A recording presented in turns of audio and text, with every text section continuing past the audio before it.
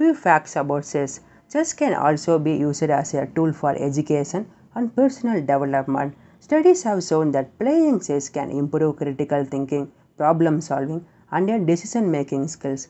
In the world of chess, there is a concept called blindfold game where a player plays a game of chess without looking at the board. This is considered as the most difficult form of the chess. The first computer chess program was developed in the 1950s by a computer scientist named Alan Turing. It was not until the 1970s that computers began to defeat human chess players regularly.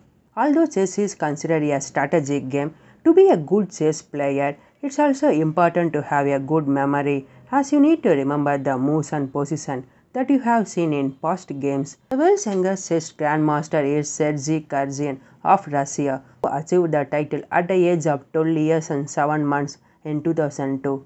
Okay guys, thanks for watching.